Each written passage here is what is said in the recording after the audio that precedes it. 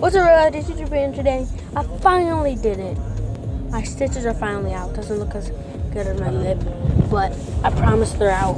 And the scars and stuff, you probably can, I can see them on the camera dummy. You too, you can too. So, um, they will go away by itself. It says normal, and um,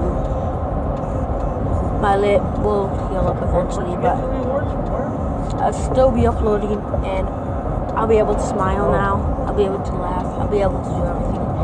So finally back. I'll be able to bring you some more basketball videos or something like that. Um, I'm just so happy that I got them out. I could I can I couldn't do nothing with them in six weeks six about five weeks left of summer.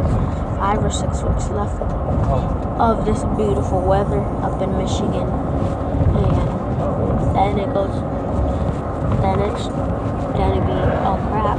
Rain, snow, freezing, jacket weather.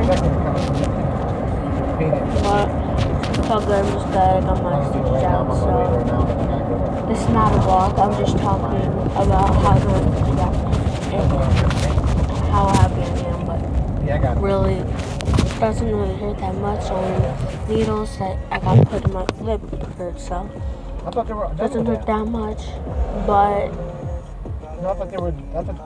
Oh, they're still doing the just really good to have it out. Really good to be back together. And yeah. So that's gonna be all today. And oh.